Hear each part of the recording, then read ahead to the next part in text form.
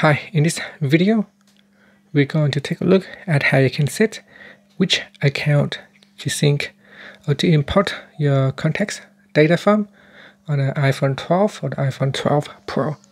First, let's go back to your home screen by swiping up at the bottom of the screen. Next, we're going to tap on settings and then in settings, you want to go down and tap on contacts. In contacts, tap on accounts now, depending on which accounts you have signed to your iPhone, so here I've got iCloud, Outlook, Gmail, Yahoo, and if you have other accounts, it might show in here as well.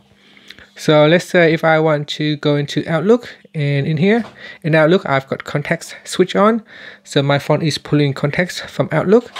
And then I go there, if I go into Gmail, I also have contacts turn on.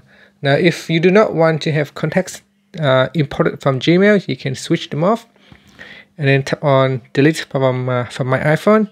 So say here, turn off contacts. Are you sure you want to continue? All Gmail contacts will be removed from your iPhone. So by tapping on that, it will not import any, uh, any contacts details from Gmail account. And then you continue to go down to all of your accounts and then uh, you can turn them on or turn them off as you see fit and that's it. So uh, uh, let's just say I only want to have my contacts um, importing uh, imported from uh, Outlook account only.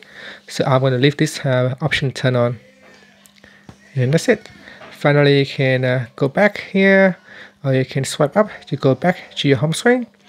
Now to test out that you have all the contacts that you need you can either open up your contacts app in here or you can uh, just open up the phone app and then tap on uh, contacts down here at the center and that will shows all the contacts available uh, in your list. And that's it. Thank you for watching this video. Please subscribe to my channel for more videos